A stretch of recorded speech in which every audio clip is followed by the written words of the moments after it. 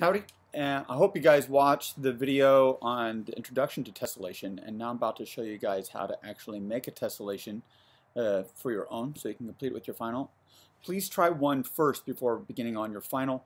Remember the one I'm about to create is just a rough draft and I'll probably make a second video of one that I perfected to show off as your final.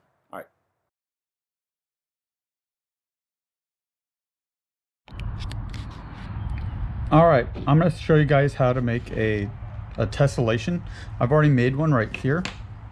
As you can tell, I basically just created a square and I cut off the pieces and I moved, I moved, uh, cut off this shape and I moved it to the other side over here and I taped it and I cut off this shape and I moved it up here.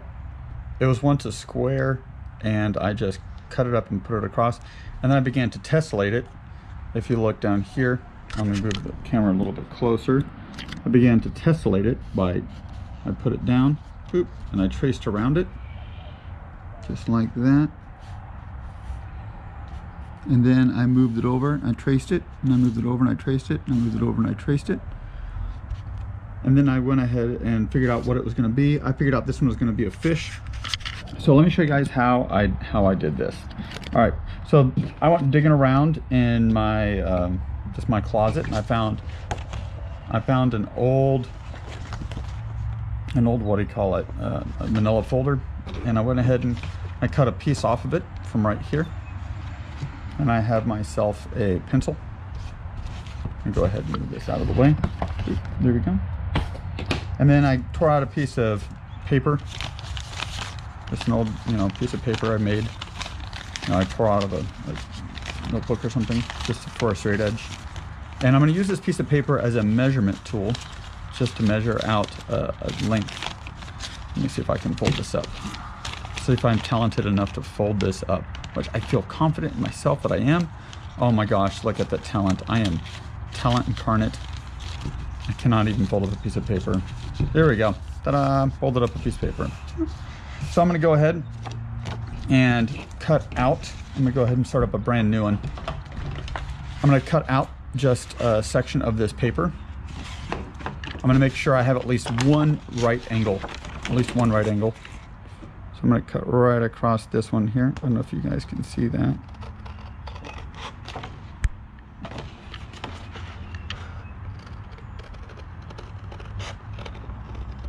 There we go. Make sure it's nice and clean. Actually, I'll just cut all the way down. Why not?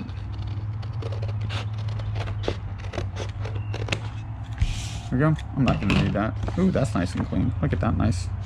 Look at that nice corner. Rather impressed with myself. Way to go, Mr. West. Why, thank you. All right. So I know for a fact that's one I'm to use. I'm to go ahead and just cut a little bit more out here. There we go. So, granted, it didn't have to be super, super nice or super perfect, but it'd be, it'd be okay. Then I'm to go ahead and mark a random length.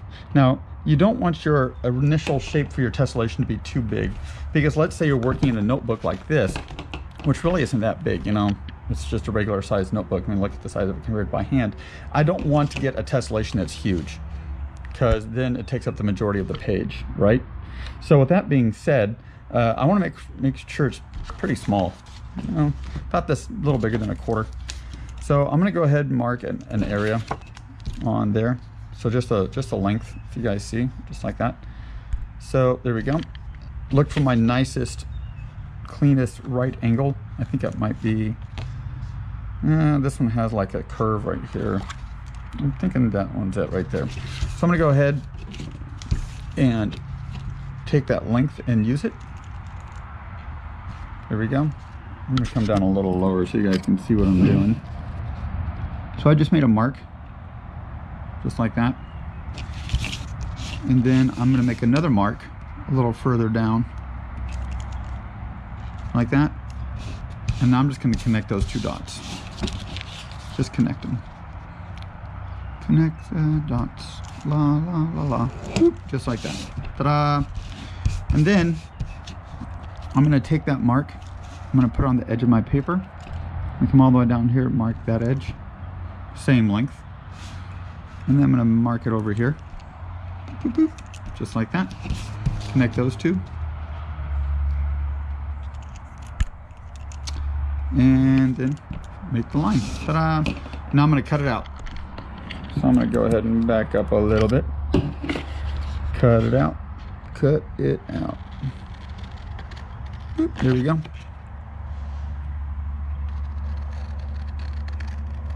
Fortunately, I do not have the luxury of my paper cutter because that is in the, the school building of which I'm not allowed to go back into.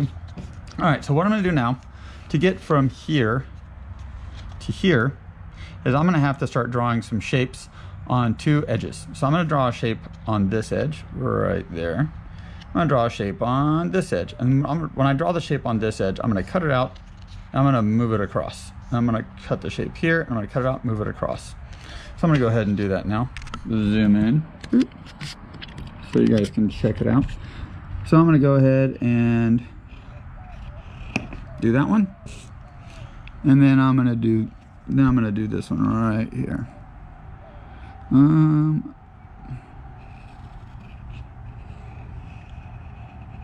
just like that.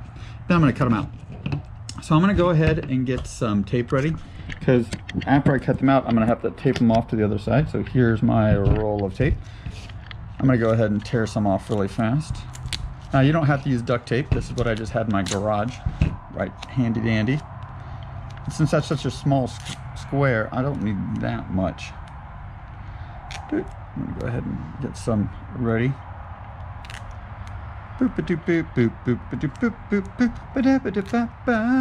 That's my handy dandy. Hold music while you watch me tear tape sounds. Oh yeah. I know, it's not exciting? That is exciting stuff. So I'm gonna put that over there. Now I'm gonna get my scissors. I'm gonna go ahead and cut this out.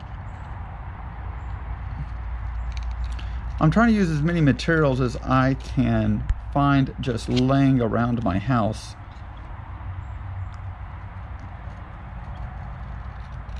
because I understand that honestly, this is not my art room. So I'm gonna take this shape, I'm gonna pick it up, I'm gonna move it straight across, just like that, straight across. And I'm gonna tape it right there. Get a piece of tape, tape it up.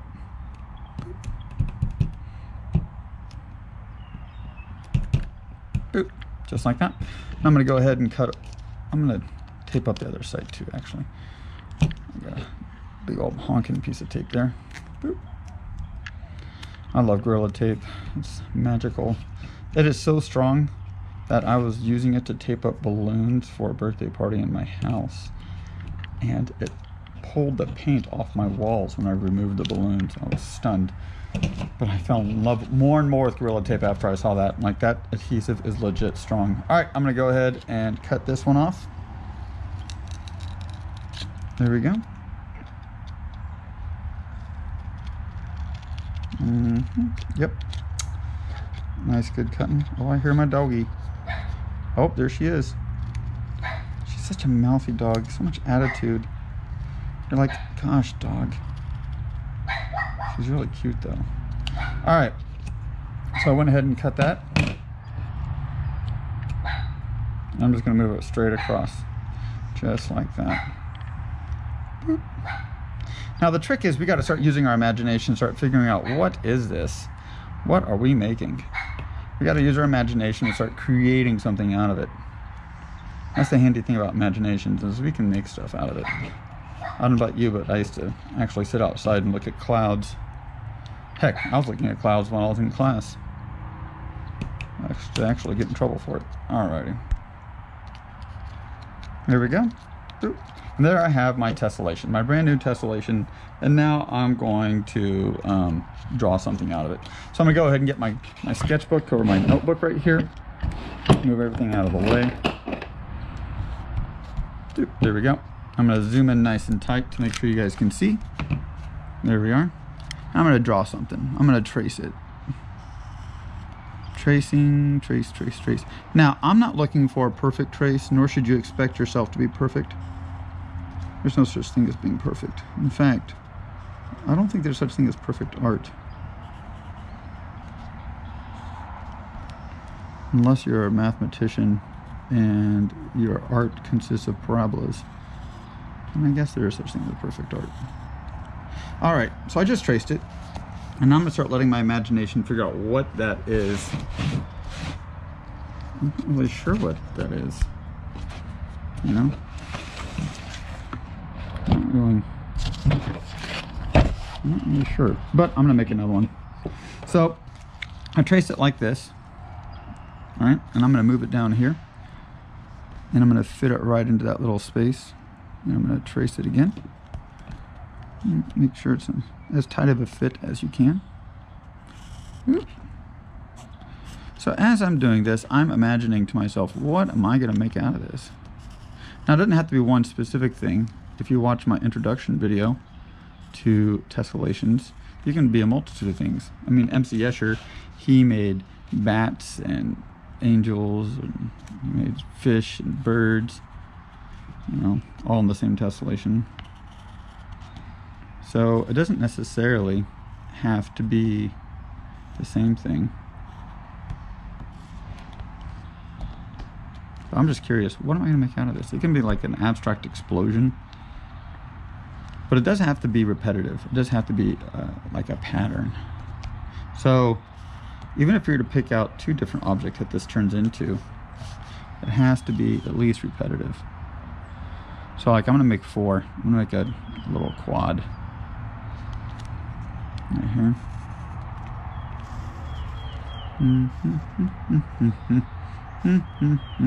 there we go. Sweet. Alrighty. I just did my four. And I'm asking myself, what? Oh, I know what it is. I see a fox face. You see it? You see a little fox face? Alrighty. So there's my little Here's my nose. Actually, I decided against that. Uh, let's see if I have an eraser here. Do I have, uh, oh, I do. Look at that. Ah, I do have an eraser. Yay. It's a really crappy eraser, but eraser nonetheless. Alrighty. So here are my eyes. Hold still camera. So I have a feeling this is this like my nose and I have my eye like this and here's my nose. It's an angry looking eye. And then here's its ears. And this is all the hair coming out of its ears. Like that. So I'm gonna make uh, two fox faces. Now remember, this is a rough draft. He's an angry fox. He's an angry fox. And then what else can I make? Hmm, I'm gonna do something the opposite direction. The opposite direction. What else? Oh, it's a Christmas tree. It's a Christmas tree. So, so I'm gonna go ahead and add more little spikes in here like this. I'm gonna add some you know, Christmas balls. So I have a fox and a Christmas tree. Here we go. All right, so that is how you make a tessellation. This is just a rough draft figuring out. So far I've made two. I made that one and then I made this one. And uh, so this would count as a rough draft. This would not count as a final. It's not nearly done. But if you were to make it done, I would suggest start coloring it in, like oranges and yellows, and maybe some eyes, maybe like give it a little black nose, bloop, give it a little black nose for the fox. And then, you know, of course, if you're doing Christmas trees, um, you know, colored in green with tinsel and whatnot. All right, well, there's my video, and I hope you liked it. Thank you very much. See if I can get this thing to stop.